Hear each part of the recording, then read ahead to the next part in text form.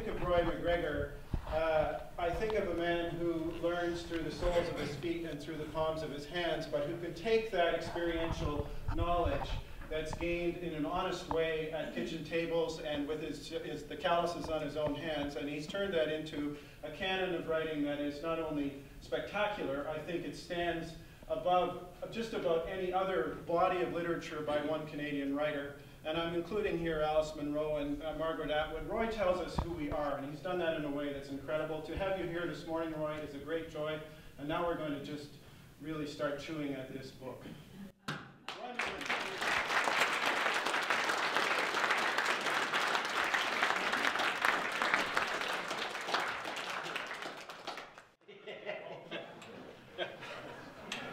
So, did you know Ken Danby? The front of this book, this fabulous book, is a is a painting by uh, by Tom or Ken Danby, a guy who died in Algonquin Park. Did you know Ken? I mean, why did you put this on the cover? Uh, well, I knew him just a little bit. Uh, I played in a, a, charity hockey game that Ken Dryden and I arranged in Toronto, and Ken Danby came over to play. So I didn't know him well, admired him hugely, and uh, the first cover that they put together of the book had the famous painting by uh, Frances Anne Hopkins of going over the, the Mattawa Rapids, which I've seen on so many canoe books. And uh, I remember looking at that, and my wife Ellen looked at it too, and we felt that it sent the wrong message. It's a beautiful painting, don't get me wrong, I love her, her paintings, but it just wasn't the kind of book I was hoping to do. And then somehow they found this painting. I hadn't seen it before, and I'm doing a series called The Rivers of Canada. Went out to uh, Calgary, and went up to the Whyte Museum at Banff. They were having a special display on about water, and I turned the corner, and the very first corner I turned, I was standing facing this, this exact same painting. This is only, what, three or three weeks ago or so. Wow. So, McGregor, Rob Roy McGregor, uh, founder of recreational canoeing, um, took religious tracts across Europe and became uh, known, and as we look back from Canada to rec through the sort of roots of recreational canoeing, we get to a guy called Rob Roy MacGregor. Um, his actual name was John, but Rob, there was another Rob Roy MacGregor who was sort of like the Robin Hood of Scotland. Yes. ah. Absolutely, it was. Are you thinking of the sheep stealer? but then we had Uncle Rob. Yes. then we had uh, Sir George Simpson, who called his express canoe Rob Roy. And uh, I want to know, have you got paddling, sir, in your genes that go beyond the immediate stories we've heard about your family in Algonquin Park? Do you go back to those MacGregors, or uh, do you even want to admit that? I'd love to admit it. But like most people who came to this country, I haven't got a clue how we got here or where we really came from. You know, it's, it's just not much written down, and I've not never, I've never done the genealogy. I'd love to be related to the uh, bandit Rob Roy McGregor, and I'd love to be related to the uh, other MacGregor who did the Rob Roy canoe through canoe through uh, Europe. But I don't think so. Also, I mean, my name's spelled incorrectly on my birth certificate, so I'm not even a MacGregor. You're MC. I'm NC. Yeah. So that means you're really not Canadian. Is that what you're wanting to get here rather than the shorter list? Your birth certificate's incorrect. it is incorrect. Uh, well, listen, talking of your, uh, your uh, relatives and your DNA, I have to say that of the many stories that you have told that I have read, the one in here that I didn't know anything about, and the one that really caught my fancy, was one that started in the Empire Hotel in, uh, in Huntsville, where I think I might have had my first illegal beer. When I was but, uh, yeah, my mom and dad took me it's there. pretty old. You served there. but uh, you talk about your dad Duncan, yes. uh, moseying down the road from your home in, uh, in Huntsville and, uh, and going to the Empire Hotel. But that story in your book leads to speculation about a relative who was involved in a canoe caper in Sudan. Mm -hmm. And uh, it's an amazing story, one of many in here. Can you just sketch out? I thought it was ingenious how you sort of drew this connection, this personal connection that started in a point in northern Ontario. Next thing you know, we're in Africa. Uh, tell us a bit about how you found that story and why it ended up in this book. Well, I, I'm one of those people who believes Canadian history is fascinating rather than boring. Uh, I, came across this book uh, many years ago about the Canadians on the Nile. And it reminded me and my uh, brothers that our father always maintained that a relative called Jack Carson had gone off on the Nile expedition in 1884-85. But nobody knows anything about this. There may be some people in this room that ring a bell, or maybe somebody who knows a lot about it, but most Canadians, 99% know nothing about this. But what happened was, uh, there was a famous general called Gordon, uh, General Charles Gordon, who was known as Chinese Gordon. And he was under siege in, the Car in Khartoum in 1884-85. The, uh, there was a, an uprising, and it was very much like what's going on in Syria these days, in Iraq, so that you have this Muslim, uh, very fanatical organization trying to kick the Egyptians out of the Khartoum area, and also the Brits. The Brits were very concerned because the canal had just opened, the Suez Canal, and it was just open. They didn't want to have any problems with it, but they also didn't want to be involved. A Much of pressure was put on by the media in London, and the Prime Minister at the time, Gladstone, caved in and said, okay, we're going to go and try to rescue Gordon because he's surrounded, he sent back these messages, he's in deep, deep trouble. And he's going to be killed, and the people love him, even though he was a nutcase. The people in England absolutely adored this man. And so they assigned Viscount Wolseley to the, to the task of getting Gordon out. Wolseley, 15 years earlier, had been stationed in Canada. And in the 1870 uprising in Manitoba, the Red River Rebellion, it was he who went out there and put it down. It also led to, as we know, the formation of Manitoba as a province. It was a very key moment. Uh, the formation of the RCMP came out of that. And how he got there was he lined up a bunch of Mohawks and a bunch of uh, river guys from around the Ottawa Valley area, and they went up through Red River, the Winnipeg River and that, and they did it by canoe. Wolseley was so impressed by the canoe ship and how quickly they've been able to travel that he had this idea that we can send these same voyageurs into Khartoum, up the, up the uh, Nile, Nile River, and they can save Gordon. So he got permission to do this. It was Canada's first engagement in the, in the world at large, er, or completely forgotten about, a military engagement. John A. Macdonald looked at it with horror and said, well, okay, you can do whatever you want, just don't, we're not paying for it. Governor General Lansdowne got involved, so they said, well, we'll get these guys together, only there was a hitch. There were no voyageurs left by that time. They kind of, 15 years, and it kind of erased them. But they did have all these Ottawa Valley loggers, and, and it was, they were looking for them at the end of August. And these guys had nothing to do. They were waiting for the winter to come, they could start cutting the wood and drying it. They're offered 40 bucks a month to go to this place they'd never heard of. Save this person they'd never heard of, Gordon.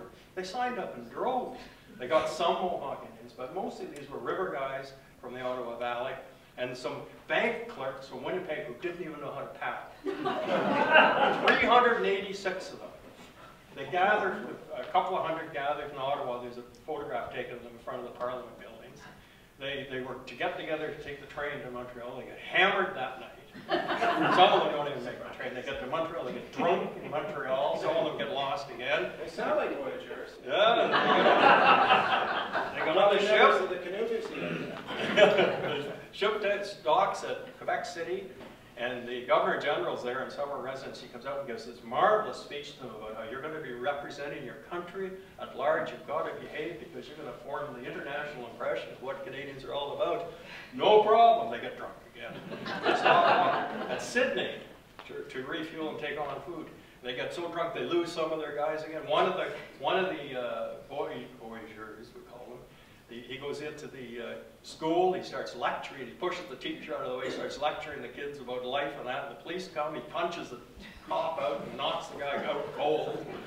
They get back. By the time they reach Liverpool, and then subsequently uh, they're, they're on their way to Alexandria, they're met by armed guards who won't even let them get off the ships. they're so uh, afraid of these crazy Canadians. They built these special canoes and, and the Canoe Museum, bless its heart, says that these were kind of canoes, even though they are very much a variation. They look more like a Boston whaler, I guess, than a canoe. They called them canoes and that. And they put the Canadians to work. They took two birch bark canoes as well over for scouting. They get to the Nile, and they behave magnificently. They're, so, they're fabulous at what they do. They do their very best, but they don't get there in time. And, and Khartoum falls, and Gordon dies, and that, they're sent back. Most of them come back in dribs and drabs. They come back and they're given this parade in Wellington Street in, in Ottawa, in which they've got uh, cockatoos on their shoulders. A couple of them are carrying monkeys. They all got these great scimitars, and they're waving. This happened in Canada, and no one has ever heard about it. So that there's a plaque on the Ottawa River right now. You can go and look at it, and it mentions Wolseley, it mentions Lansdowne, it mentions Gordon and that, and it says, and 386 Canadians. Not a name, nothing. The, the listing is so bad about who was on the trip that you can't even be sure who went on. Did Jack Car- Carson actually go? I found a Jack Carson who may have been a relative from Round Lake Center, who would have been the right age, but there's no record of him having gone. It's all gone, it's all lost, and it's, it's a movie. Listen, uh, we probably should get this out there. Uh, You're, uh, you opened the book by talking about the wonders of Canada, the uh, CBC radio. Sheila Rogers, our ambassador at Harvard, was actually, I think she was with Sounds Like Canada at the time. Her idea. It was her, her idea to identify the wonders of Canada. And of course, as a result of Ra McGuire from Trooper and Roberta Jamieson and you were the three, three judges deciding what, um, what uh, the wonder should be, you came up with a group that included the canoe, but um, the canoe would not have been on that list were it not for you, Mr. McGregor. And I understand that, um, at least it says so in your book, that uh, you underwent a death threat uh, from the people of Thunder Bay who were some peeved that, um, that, is that, is that true? No. Oh, okay.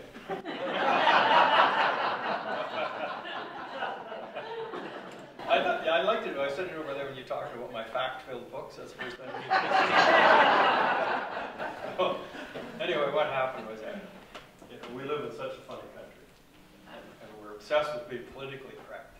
And I'm sitting there thinking, God, you know, this is being put on by the CBC, but it's about places, so they're going to end up being geographically correct. I know it. I can see it coming. So what can I defend that doesn't have a location? And I started thinking, and I, and I thought, wow, the, the canoe, no Canada, no canoe. I mean, I, I'm not the first to say that, James. You've said it. We, uh, John Jennings is, is here. He said that Canada made, was made by a canoe, basically. And I thought, you can find it anywhere. It has no location. It pertains to everything, and it covers Aboriginal uh, exploration, trade, recreation, everything you can imagine. So I started arguing in favor of that. But in order to get the, it whittled down to the top seven, we had to get rid of some. The number one vote that came in, there was more than a million votes. The number one vote was for the sleeping giant of Thunder Bay, like 200,000 votes or whatever. And I was the voice, kind of the deep sixth. so I put the canoe in, killed the, killed the giant. Well, my emails just exploded. People from Thunder Bay, and it just so happened I had to go to Thunder Bay a month later. So uh, Ellen and I were going up there, and I get an email saying, if you show up in Thunder Bay, we're gonna basically kill you. So I showed up there, and one television crew and one reporter was there, and I tried to explain them that. And they were so nice about it, that by the time I left, a counselor had come and presented me with a painting of the sleeping giant, so I would never forget. That's Canadian, too, that's so, so Canadian. Okay, so the book's called Canoe Country, The Making of Canada. Fair enough, great title. You go to the chapter called The Craft, and it's set in Saranac Lake, New York, Yeah. with the Wooden Canoe Heritage Association, um, arguably an American organization. Are you trying to make a point? Uh, No, no, I just wanted to go to the Adirondacks. That's how journalism works. I saw that this thing was going on down there, and I, and I was going to get, I didn't want to make, do much about the craft because it's not something I'm good at. I couldn't make, I couldn't even carve a child's paddle. so. So I, but I thought, this is a good chance to, to, to go down and talk to some people and to see something and to have a little summer visit down in Adirondacks. And I got it into McLean, or into the Globe and Mail, which gave me a column to get me by for the week. It's- You know, I'm being very, very honest here, it was just a selfish move. Your, your honesty is just totally disarming. But if, if you were to draw a line around canoeophilia, who loves canoes, and, and the, the southern boundary of that would not be the 49th parallel, that's pretty, pretty sure. Or if they buy books. But the, the question, and we've wrestled with it at the Canoe Museum a lot, so there are canoes all over the world. I mean, Yeah. maritime history begins with a, a log and a- that got pointed on both ends and eventually hollowed out, doesn't matter where you go. And that's, that's where maritime history starts, and it works its way up to sloop rigs and barkentines and eventually to space shuttles. I mean, uh, that's why, are you with me, Roy? It's like do an acid flashback. Yeah, it might be. Yeah, actually, oh, yeah, okay. The question is, uh, Canadians have a particular affection for canoes, and that's true, but how much can we claim uh, the canoe? Like, what is the connection between canoe and Canada that is different for us than it is for those people in Saranac Lake who love canoes, or in Minnesota, or in uh, Polynesia, or in New Zealand, or in Africa, uh, all of whom have canoes? What, what's different about uh, our affection for or our craft uh, that you might reckon? Well, okay, I'm gonna be honest here. I I once read a I wish fabulous book, honest. Fabulous book by Bill Mason, by a guy, Raff, something. And uh, there was a quote in there that said, first God made the canoe, and then he made a country to go with it. And I'm not so sure you could apply that same uh, kind of silly criterion to tho- those other crafts. Had there not been a canoe invented by the Aboriginals of northern North America, they could not have survived. They could not have hunted. They could not have moved with the, whatever they were following. If, after Champlain came, he realized he couldn't get past the Lachine Rapids until he saw the Aboriginal, Aboriginals, how deftly they were able to move through the rapids. So the Europeans started adapting that style of canoe and allowed them to do the exploration. Uh, exploration led to the fur trade.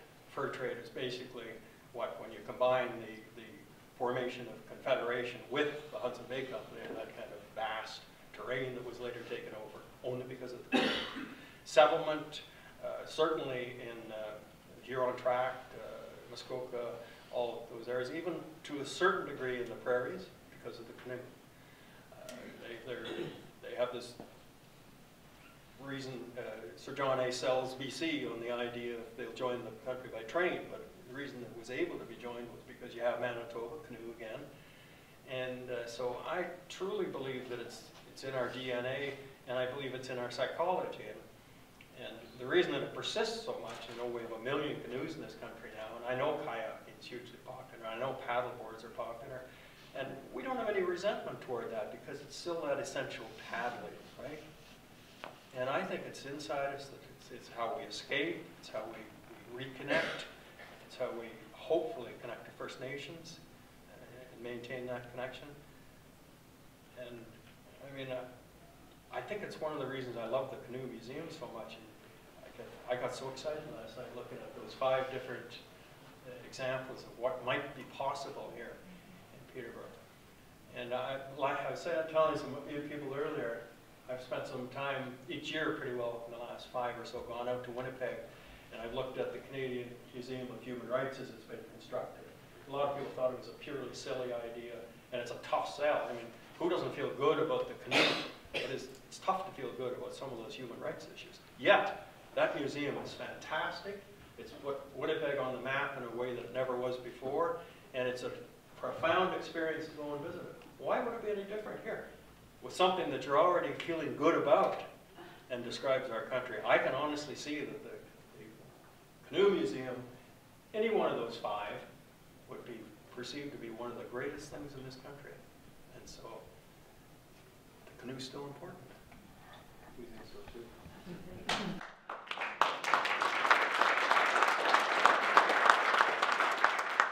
So uh, it's a lovely chapter where you take Bill Mason and Pierre Trudeau, two little short guys who uh, have shaped our consciousness in very different ways, but who came together around the canoe. You mentioned a story of a, uh, a family who loves canoeing with this son, which you said might be apocryphal. I'm here to tell you that it's not apocryphal. This is toward the end of the book. You revisit the Trudeau-Mason connection, and you say this family was sitting there, and they raised their child in the canoeing culture, and they're watching a, a game, uh, a hockey game at the Forum, and the Habs are playing somebody else, and they, you know how they zoom around to the various things and the people in the audience, and it zooms into seats right behind the, the Montreal box, and there are two guys in the frame, and the kid in the living room says, "Who's that guy sitting beside Bill Mason?" It's Pierre Trudeau. So it's actually a true story. It was a living room of, uh, uh, it's a Kandalore, Camp Kandalore connection. Wendy Grater and Fred Loosemore, who bought uh, Camp Kandalore from Kirk Wipper with uh, Jack McGregor and Ev, his wife. It's and true. uh, they adopted a boy, a boat boy from Vietnam called Quan Van Pham, who's done splendidly. But this kid was, he got off the boat at about, I think he was 12 when he came. And uh, he was totally cultured into canoeing, and he's the one who had no idea who Pierre, Pierre Trudeau was. but he knew exactly who, who Bill Mason was. But uh, dare we tread into this territory? Uh, I mean, John Turner told me that liberals catch their fish and conservatives inherit theirs.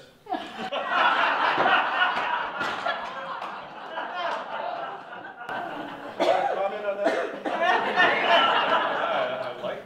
You want to, what, are we going to talk about the Prime Minister's hockey book? No, I, I want to talk about Trudeau the Younger. Uh, I think it was Paul Wells and Maclean's last week had a, a comparison of father and son. And uh, father looks uh, decidedly uncomfortable in a canoe. I mean, yes, he was a child of nature and, and was loved canoeing and paddled, and is, he, I mean, he's known for that. But I thought just the two images around the essay comparing father and son, I thought Justin looked far more comfortable in a canoe He's quite good. than his dad. And uh, uh, what, uh, what are you thinking about uh, as you see uh, Trudeau the Younger uh, move uh, into this position of, uh, of leadership in the country? Does it- Wow, I didn't expect this way. Uh, I spent an entire day with Justin a few years back when he started making his moves for politics. And he was then about 37 or so. And after spending a day with him, he reminded me of a child that had just gone off to university and was back home Thanksgiving for the first weekend. And so full of the possibilities of the world, and yet naive in the ways of the world. And I, I, I was concerned about that. But other things that I noticed about him was that he was kind to every single person that he encountered. Didn't seem to matter what station of life they might have been in. Uh, he was thoughtful. He listened.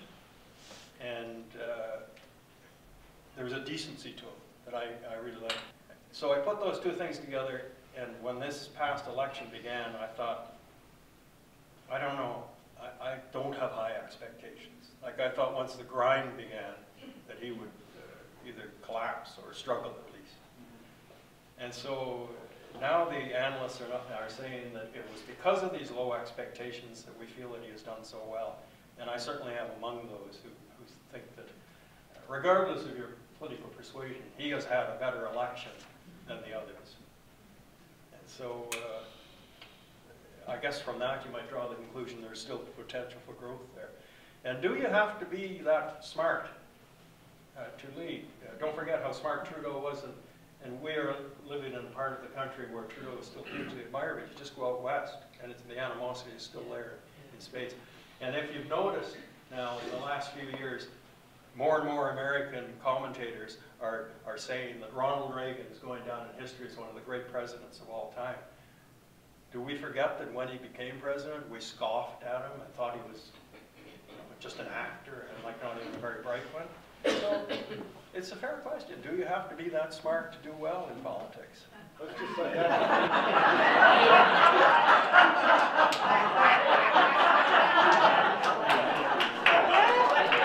I think we might be the second of a Lavas Portage uh, at. But, uh, but I do, uh, I mean, not in the name of any kind of balance, but uh, you've had the somewhat remarkable opportunity to work with Stephen Harper on his book about hockey. And recently you had an opportunity, you actually wrote a column about Harper and his fishbowl, but uh, in the sense that uh, you maybe understand the sensibility of paddlers, I mean, what, what do you know about Stephen Harper that you learned through that hockey book that, uh, that those of us who uh, love the wilderness, love canoes, and love culture Uh, what, what do we, what, what do you know about Stephen Harper that you learned through the process of working with him to create what has been a very successful book um, that you might want to share with us? Well, I, I guess I can now. I was, I always said I wouldn't share anything, but uh, I don't know. Who cares now? But I, actually, he had a bit to do with this book because uh, I used to, I, I'd go down and wait outside his office, and the prime minister of the country is kind of busy, so he doesn't always come in time. And I would sit in a chair right opposite me, like they moved paintings around in Parliament Hill. and So they had the Francis Hop, Anne Hopkins painting on the manor wall right in front of me. I sat there for days staring at it, and I, that was when I was thinking about doing the canoe book. And then I went in and, uh, oh, he didn't like me at all, but, uh, didn't, uh, doesn't like the media. And then I thought, well, I- I'll never see him again. I was just went out of curiosity anyway. And then I got called back down and I dealt with a man called Nigel Wright all the time. First rate. And, uh, so, but eventually, there were so, so many oddities to it. Like, I'm trying to talk to him as an editor, and I'm talking about the narrative of a book all the time. And every time I use the word narrative, I can see his back foot. And it took me weeks before I figured out that narrative, like some words lose their meanings. Narrative in Ottawa has completely lost its meaning. Narrative now means the lie. So the liberal narrative, and you hear it on television all the time, right? Well, that's the liberal narrative, or that's the NDP narrative, and that they're talking about spin. So it become it's it's a word that means spin now. And I finally I, I talk about the, how the arc of a story has to go there. And finally, and I stopped using the word narrative. so we started getting along pretty well uh, uh, after a while. And, and he, at one point, he said to me, he said, uh, uh, "Would you uh, would you at all consider writing the forward to this book when it's done?" I said, "I'd certainly be be honored to write." Uh, forward to the book, as long as you don't mind me signing it, Senator Roy McGregor.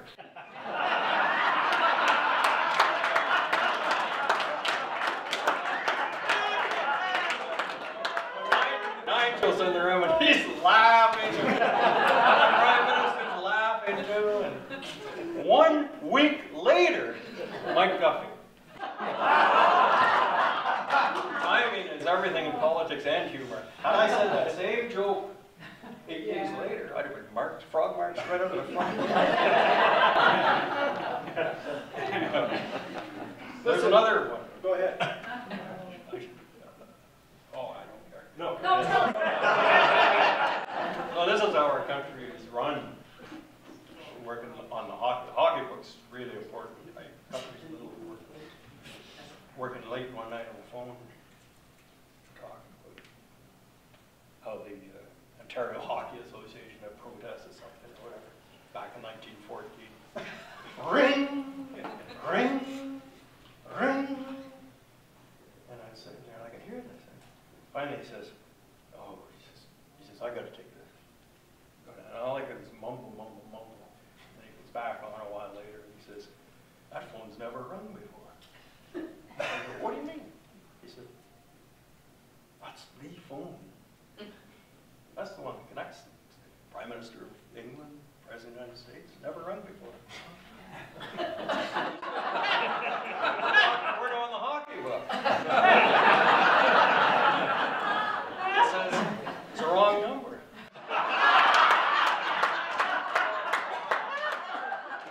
We go back to work, we're talking about how the professionals are organized into the Toronto Maple Leafs are coming along. Ring, ring, ring. He said, "Jeez." He says, just wait a minute. Oh, no, no, no.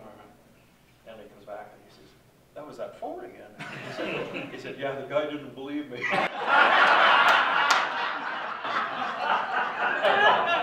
That's it, there are official secrets act. Probably asking for Pierre Trudeau. One of the, uh, the fresh ideas uh, in your book that really caught my fancy was the fact that you kind of, look- you, you ask us to believe that the canoe is a character inside Canada. That was my, that's, that's how I looked. I looked at it as a biography of the canoe. Right, and so as a reader, I come to this, uh, was the uh, uncorrected proof that I, that I read, but I'm going through this thinking, okay, it's a character. And then I read the, uh, the review in the uh, Globe and Mail. Uh, same, same guy uh, read the book and said, okay, the canoe's a character. Mostly in a book, and you know, having written fiction, you learn about the, the sort of ancestral roots of the character. You learn about the, the, where the character came from. And uh, that reviewer was surprised that uh, you didn't say more in this book about canoe country about the indigenous ancestors or where the canoe came from. I know from reading your other work, notably Chief, your biography of Billy Diamond, and also your connections with the Round Lake Band and you know all kinds of indigenous people across the country. Um, I, I, mean, it's not often you get back to get a chance to kick back at reviewers, and I'm, i want to open that for you now, having written that, that piece in the Globe and Mail. But it's a serious question, Roy, about um, the choices you made here for us to understand. Because as we go forward with the Canadian Canoe Museum, we're looking to configure the museum in the best possible cultural circumstance, and we're reaching out more actively than we ever did to the First Nation communities. And I thought that was a, a, a significant um, gap in the book, and uh, I wanted a chance to talk with you about it because I suspect, with the depth of your knowledge about Canada and about its peoples and how it all works, that you made choices that ended up with the constellation of stories that are here and, and consciously uh, left out some elements of, of the sort of early days of this character called the canoe. Consciously, uh, I, I don't think any book is perfect. And I don't, I particularly don't think any book that you write is perfect. I'm not saying. if you, no, I don't mean it that way. If you, uh, like, I would never read one of my own books. I, I, I know what you I can't stand reading my own stuff. So when I, uh, as I say, I tried to make it as a character. So I, there were things I wanted to stay away from. I wanted to stay away from craft largely because there have been some great books written on craft. I wanted to stay away from, I, there's not a word in there about Olympic canoeing, for example, not a word. Uh, there's not a word, much of a word in there about other forms of canoeing, which to me aren't canoes, but they always list them all together. And uh, the lar largest chapter in there is about the James Bay Crees and how they, they took their, from their original birch bark canoes, tried to move toward a better canoe. So that's the biggest chapter in there. There's lots of other reference there. Is it flawed? I'm sure. But uh, that reviewer can go to hell.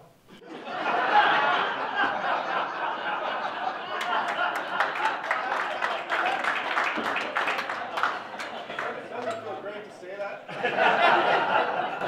Oh, God, I mean, I've had, I wrote a, a book called uh, Canoe Lake sitting over there. I don't want to destroy, destroy sales, but uh, it was my first book in 1980. I was 32 years old. I pick up the Globe and Mail, and Marion Engel has reviewed it. Uh-huh. And she, her opening line was something like, "There's more vomit in this book than there is in all of Canoe Lake." like, what kind of mean mind would? And that that that hurt, but eventually. Mo and I, I mean this, you'll understand this. Most people don't read the whole review. Your, your point was made at the end of your review. My publisher thought the review was fantastic. James Raffan, rollicking good read. That's, that's what they look for. Publishers can't read either. Um, I think we have a unique opportunity here in this, this audience. I, I mean, one of the great, many great chapters in your book is uh, Voices on the Dumoine River. And uh, you, you paint the picture of these uh, two characters, the Chester brothers, uh, Lauren and, and Phil Chester. And I was completely charmed by the chapter, but completely uh, delighted when I see that the men in question are here uh, this morning. So in the chapter, I mean, Phil has been whining about, uh, uh, Phil, the great poet from the Ottawa Valley and paddler, um, has been telling the Canadian Canoe Museum that we need to have a, an exhibit on Grey Owl. And uh, we've been corresponding with Phil about that. And whether we need pretender exhibits uh, is, uh, is, uh, is a whole other matter. But uh, in, in that chapter, you paint a picture of these brothers who uh, love the wilderness, who are very capable canoeists, and who are kind of, it's a kind of a, a, a fresh take on something that we all know very well, but you sculpted a chapter about these guys. But in there, as you're talking about the possibility of a, or Phil's complaint about our museum not having an exhibit on Archie Belaney, you said, I think we should have an exhibit about the Chester brothers.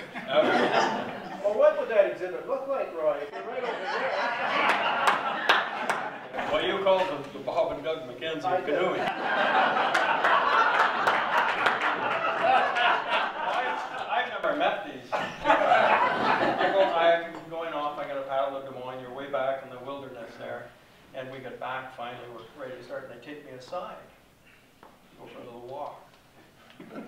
They want me to change my name.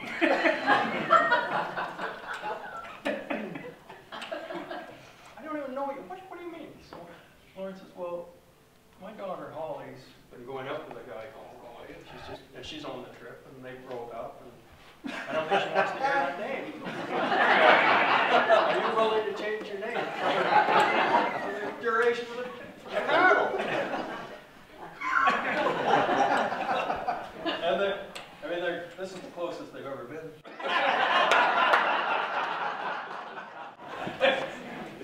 This guy, he's fearless. He doesn't believe in scouting. He doesn't believe. He sits in the bow, and he doesn't believe in scouting. He just he's, when you get close to really bad stuff, you stand up. you see what kind of trouble you're getting in, and you just go for it. This guy, well, sits in the stirrup, and I'm up about. bow. He scouts everything out so carefully. I mean, where did the aren't there genes that are go together to make the same thing? It was hilarious. It was wonderful, wonderful entertainment. Good times and too much wine. Well, it gives us something of a sense of what we put in there. Brother. So you're gonna put them in the Brother- museum? brother- It'd have to be the Canuni then, wouldn't it? So Roy, we want, we, Right. we wanted to, we wanted to say thank you.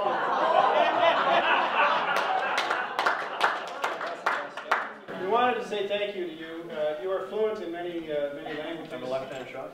I was wondering about that, uh, hoping that you might be, but um, uh, the first time I saw this uh, all-Canadian tool, I think it was na- nailed up at the end of Bill Mason's driveway. Yeah. And He had a, he had a real thing for being literal. He was the guy who read Holling Clancy Holling's uh, book, uh, Paddle to the Sea, and he was the guy who actually made the little Indian and, uh, in the canoe and, and made the movie. And I, he sort of got this concept, and it may not have come from him, but uh, the All-Canadian Tool is something we'd like to give you as a, uh, as a symbol of our affection for you and, uh, and also as our vote of thanks uh, for you, who is probably more connected to Canada through hockey and canoes uh, than anybody we know. So thank you for coming, and uh, please come again, and uh, many thanks for this morning.